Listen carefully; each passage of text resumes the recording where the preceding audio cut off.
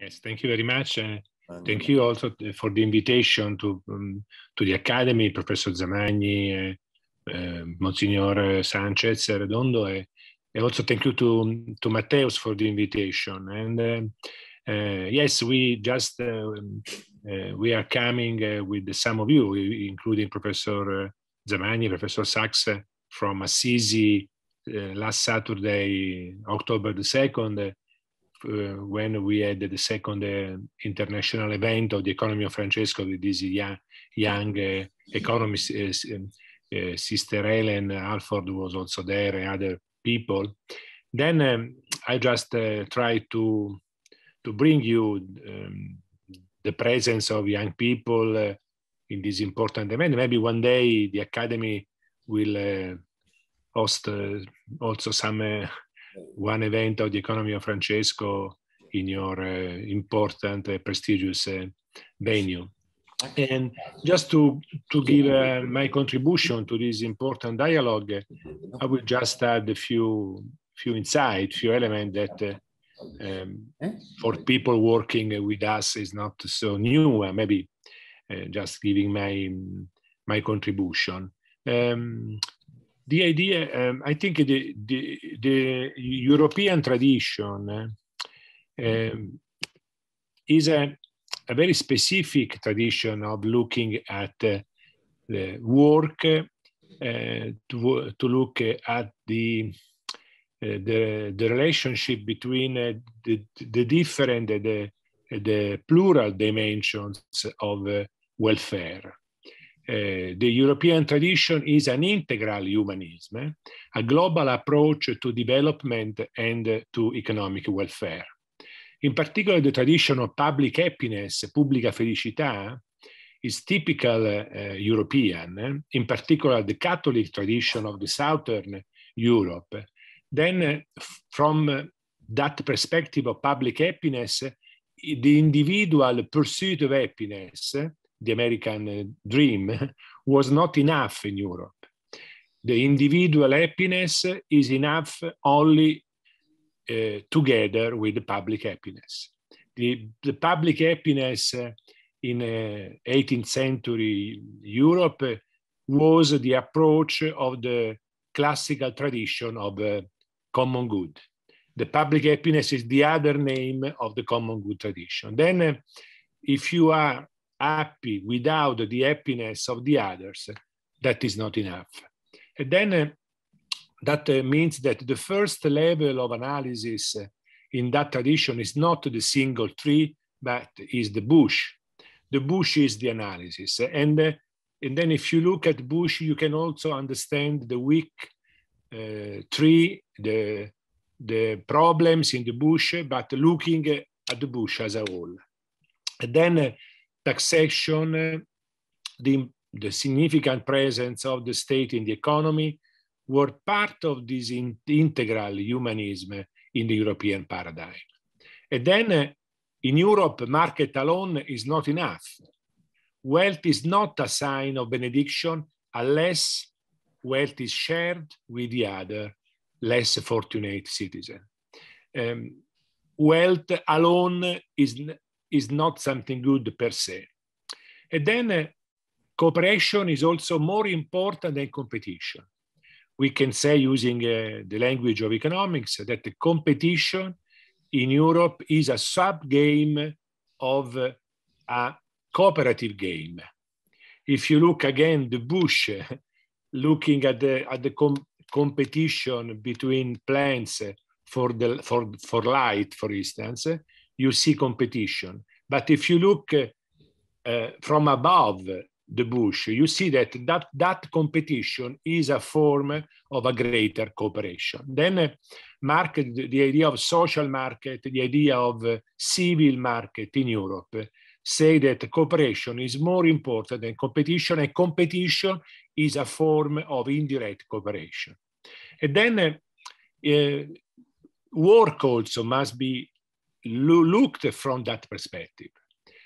Work is much more in the European tradition than an individual right. It's also an individual right, but it's basically something that is at the center of the social contract.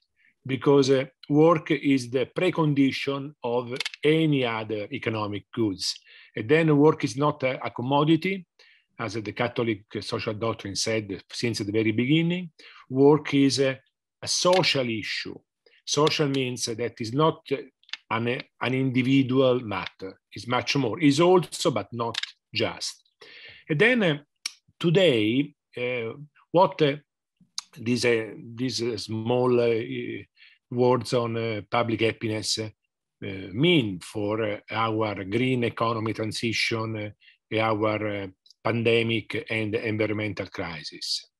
First, first consequence of the public happiness tradition or civil economy, as Professor Zamagni other people call it, sustainability is not just a technical matter for engineers. Sustainability is a, a moral, is um, anthropological, is a, a, cultural issue, much more than uh, technicalities. Then uh, today, when people, in general, when, when we use the expression sustainability or transition, ecological transition, people think that uh, um, engineer matters or maybe sometimes politics in terms of uh, rules, uh, laws, uh, so and so. Maybe sometimes we arrive up to the citizen uh, consumerism and so on. Yes, sustainability is also a technical stuff, but is much more. Why? Because first, sustainability, in order to be really sustainable, in, a, in the European tradition, must be a social sustainability we, because we have no guarantee today that a green economy will be less unequal than, a non, that the present economy. We have no guarantee that in the future a more sustainable uh, from the green perspective economy will include more, more jobs, will include more the poor. Today, there are beautiful green companies with no sensibility at all for poverty for inclusion, social inclusion. There are beautiful, perfect, sustainable, green um, firms that are uh, um, firing uh, employees. then there is no guarantee at all that a greener economy will be also a more equal economy. Then, in our perspective, we have to keep together the social sustainability inequality, and green. A green economy is not enough. Second, a relation and community sustainability.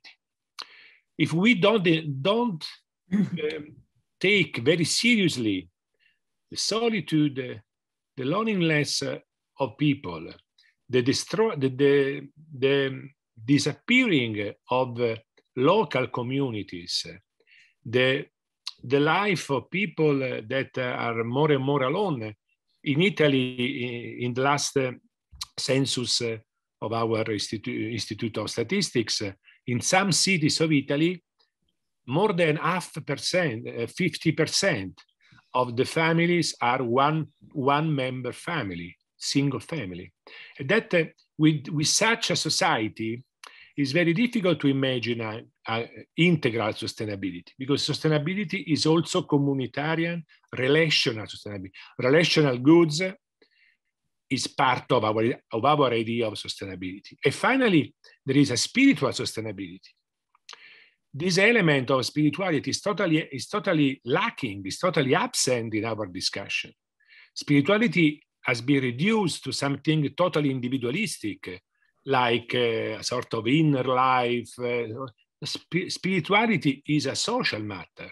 It's part of the social contract because people without a real spirituality are very little, very little resilient to crisis, to any kind of crisis, including the pandemic one. And then uh, we, have to put into the public sphere the issue of spiritual sustainability of our transition. Because if we, if we, if we destroy inner life, spiritual life of people, people will maybe we, we will live in a greener society, but maybe we will commit suicide for a, a sort of depression that will become a, a, new pandemic. without a real spiritual sustainability. Then, just to conclude, um, an integral humanism means that green without social inclusion is not a good economy, is not a good society. I think this uh, is our contribution to the debate because uh, think about also the way of imagining transition, in particular in Italy, living in Italy. We are still in the two steps uh, politics, as uh, Professor Zamagni called it uh, in the past. Two steps. We invented, introduced in Italy the, the Minister of uh, Ecological Transition. Okay, but we put uh, as a Minister of the Economy Finance one person coming from Bank of Italy, very expert on finance, on the standard economics, and uh, we just added another mi minister uh, for the for the ecological transition. This is the the old way of looking at sustainability because today is the minister of the economy that must be uh, immediately uh, ecological um, with a, an ecological uh, sensibility. Because if you if you continue to think that economy business is business, and you put aside another person to act in towards the transition, we are still in this idea of the, the two steps: first the economy, second the ecology.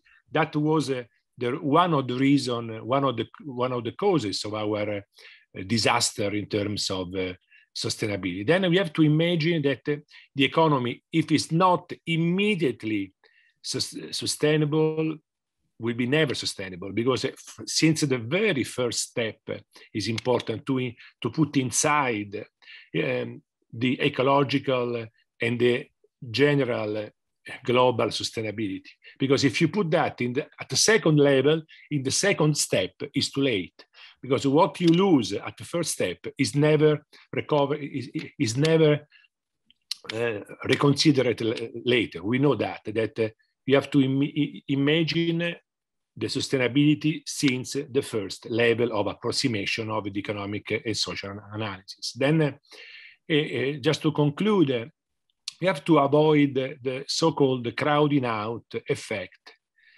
because if we um, in Europe, we know that because our history is very is very long.